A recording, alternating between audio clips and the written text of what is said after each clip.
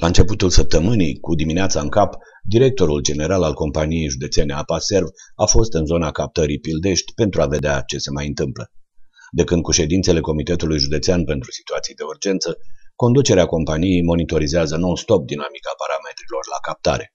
Mari noutăți nu ne-a putut comunica directorul Angheluță, dar ne-a confirmat măcar că soluția rezolvării crizei apei la Roman agreată de fapt este cea a realizării unei captări noi de suprafață din zona microhidrocentralei. Se face o captare la 3 metri adâncime și apa se transportă într-o o stație de tratare, care are niște decantoare, are niște filtre. Pe parcurs, pentru flocularea acestei ape, care este o apă cu turbiditate mare, este o apă tulbure, uh, sunt introduse niște substanțe care sunt foarte bine controlate. Există un sulfat de aluminiu, există un uh, policlorohidroxisulfat de aluminiu. Sunt niște complexi care uh, limpezesc efectiv apa pentru a deveni potabilă, pentru că avem obligație de a livra apă potabilă, lucru pe care îl facem și avem experiență bună, pentru că lucrul ăsta uh, se face pe zona sud la municipiul Piatra Neamț.